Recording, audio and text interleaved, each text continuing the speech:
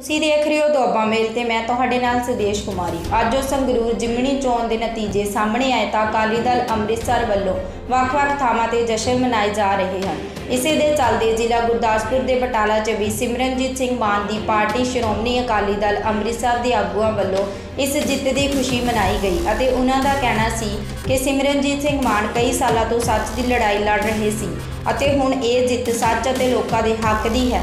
ਉੱਥੇ ਹੀ ਇਹਨਾਂ ਲੋਕਾਂ ਨੇ ਕਿਹਾ ਕਿ ਜਿਵੇਂ ਅਕਾਲੀ ਅਤੇ ਕਾਂਗਰਸ ਤੋਂ ਲੋਕਾਂ ਦਾ ਮੋਹ ਭੰਗ ਹੋਇਆ ਸੀ, ਉਵੇਂ ਹੀ ਹੁਣ ਆਮ ਆਦਮੀ ਪਾਰਟੀ ਵੱਲੋਂ ਪੰਜਾਬ ਦੇ ਲੋਕਾਂ ਨਾਲ ਝੂਠੇ ਵਾਅਦੇ ਅਤੇ ਦਾਅਵੇ ਜੋ ਕੀਤੇ ਸਨ ਉਸ ਦਾ ਨਤੀਜਾ ਹੈ ਕਿ ਹੁਣ ਇੱਕ ਬਦਲ ਤੋਂ 3 ਮਹੀਨੇ ਬਾਅਦ ਇੱਕ ਵੱਡਾ ਬਦਲ ਆਇਆ ਹੈ।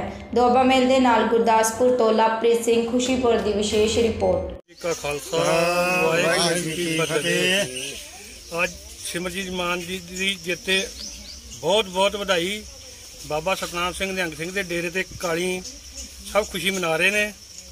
ਜਨਤਾ ਇਹ ਚਾਹੁੰਦੀ ਆ ਵੀ ਅਸੀਂ ਰਾਜ ਤੇ ਭਾਲਣਾ ਵੀ ਚਾਹੁੰਦੇ ਆ ਤੇ ਲਾਉਣਾ ਵੀ ਜਾਣਦੇ ਆ। ਇਹ ਕੋਈ ਨਵੀਂ ਗੱਲ ਨਹੀਂ ਕਿ ਅਸੀਂ ਬਣ ਕੇ ਤੇ ਅਸੀਂ ਪੱਕੀ ਸੀਟ ਲਿਖਾ ਲਈ ਆ। ਇਹ ਸੰਗਤ ਦੇ ਅੱਗੇ ਕੋਈ ਨਹੀਂ ਅੜਿਆ ਤੇ ਨਾ ਕੋਈ ਅੜੇਗਾ। ਵਾਹਿਗੁਰੂ ਜੀ ਕਾ ਖਾਲਸਾ। ਵਾਹਿਗੁਰੂ ਜੀ ਕੀ ਵਾਹਿਗੁਰੂ ਜੀ ਕਾ ਖਾਲਸਾ ਸ੍ਰੀ ਵਾਹਿਗੁਰੂ ਜੀ ਕੀ ਫਤਿਹ।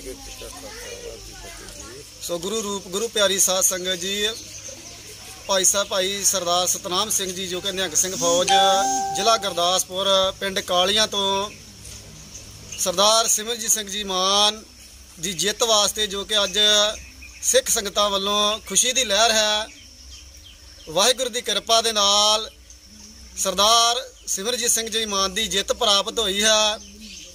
ਇਸ ਕਰਕੇ ਸਿੱਖਾਂ ਦੇ ਵਿੱਚ ਬਹੁਤ ਹੀ ਖੁਸ਼ੀ ਦੀ ਲਹਿਰ ਹੈ। ਵਾਹਿਗੁਰੂ ਜੀ ਦੀ ਕਿਰਪਾ, ਸਦਕਾ ਮਾਨ ਸਾਹਿਬ ਦੀ ਜਿੱਤ ਪ੍ਰਾਪਤ ਹੋਈ ਹੈ। ਵਾਹਿਗੁਰੂ ਚੜ੍ਹਦੀ ਕਲਾ 'ਚ ਬਖਸ਼ਿਸ਼ ਕਰਨ ਸਿੱਖ ਸੰਗਤਾਂ ਨੂੰ ਖੁਸ਼ੀ ਪ੍ਰਾਪਤ ਬਖਸ਼ਿਸ਼ ਕਰਨ ਵਾਹਿਗੁਰੂ ਜੀ ਕਾ ਖਾਲਸਾ, ਸ੍ਰੀ ਵਾਹਿਗੁਰੂ ਜੀ ਕੀ ਫਤਿਹ ਜੀ, ਮੈਂ ਕਪਿਲ ਠਾਕੁਰ ਐਡਵਾਂਸ ਅਮਰੀਕਨ ਤੋਂ।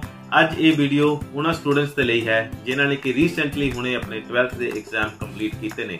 ਅਤੇ ਹੁਣ ਉਹ ਆਇਲਸ ਜਾਂ ਪੀਟੀਈ ਕਰਨ ਦੇ ਲਈ ਇੱਕ ਵਧੀਆ ਇੰਸਟੀਚਿਊਟ ਦੀ ਭਾਲ ਦੇ ਵਿੱਚ ਹੋਣਗੇ। ਸਟੂਡੈਂਟਸ ਮੈਂ ਤੁਹਾਨੂੰ ਦੱਸ ਦੇਵਾਂ ਕਿ ਹੁਣ ਅਸੀਂ ਮੁਕੇਰੀਆਂ ਦੇ ਨਾਲ ਨਾਲ ਦਸੂਹਾ ਦੇ ਵਿੱਚ ਵੀ ਆਪਣਾ ਇੰਸਟੀਚਿਊਟ ਓਪਨ ਕਰ ਚੁੱਕੇ ਹਾਂ, ਜਿੱਥੇ ਕਿ ਸਟੂਡੈਂਟਸ ਦੀ ਬਹੁਤ ਇੱਕ ਭਾਰੀ ਡਿਮਾਂਡ ਸੀ ਕਿ ਅਸੀਂ ਮੁਕੇਰੀਆਂ ਦੇ ਨਾਲ ਉਹਨਾਂ ਨੂੰ ਦਸੂਹਾ ਦੇ ਵਿੱਚ ਵੀ ਆਇਲਸ ਔਰ ਪੀਟੀ ਦੀ ਕੋਚਿੰਗ ਦੇ ਸਕੀਏ। ਸੋ ਸਟੂਡੈਂਟਸ ਜੇਕਰ ਤੁਸੀਂ ਵੀ ਫਸਟ ਅਟੈਂਪਟ ਦੇ ਵਿੱਚ ਆਪਣਾ ਆਇਲਸ ਜਾਂ ਪੀਟੀ ਦਾ ਐਗਜ਼ਾਮ ਕਲੀਅਰ ਕਰਨਾ ਚਾਹੁੰਦੇ ਹੋ, ਤਾਂ ਸਾਡੇ ਮੁਕੇਰੀਆਂ ਆਫਿਸ ਜਾਂ ਫਿਰ ਦਸੂਹਾ ਆਫਿਸ ਦੇ ਵਿੱਚ ਆ ਕੇ ਵਿਜ਼ਿਟ ਕਰ ਸਕਦੇ ਹੋ ਅਤੇ ਡਿਜ਼ਾਇਰਬਲ ਸਕੋਰ ਤੁਸੀਂ ਲੈ ਸਕਦੇ ਹੋ। ਦੈਟਸ ਮਾਈ ਚੈਲੰਜ ਕਿ ਤੁਸੀਂ ਫਸਟ ਅਟੈਂਪਟ ਦੇ ਵਿੱਚ ਹੀ ਆਪਣਾ ਪੀਟੀ ਦਾ ਔਰ ਆਇਲਸ ਦਾ ਐਗਜ਼ਾਮ ਕਲੀਅਰ ਕਰ ਸਕਦੇ ਹੋ। ਵਧੇਰੇ ਜਾਣਕਾਰੀ ਦੇ ਲਈ ਸਾਡੇ ਹੇਠ ਦਿੱਤੇ ਨੰਬਰਾਂ ਦੇ ਉੱਪਰ ਤੁਸੀਂ ਕੰਟੈਕਟ ਕਰ ਸਕਦੇ ਹੋ ਅਤੇ ਆਪਣੀ ਅਪਾਇੰਟਮੈਂਟ ਵੀ ਬੁੱਕ ਕਰਵਾ ਸਕਦੇ ਹੋ। Thank you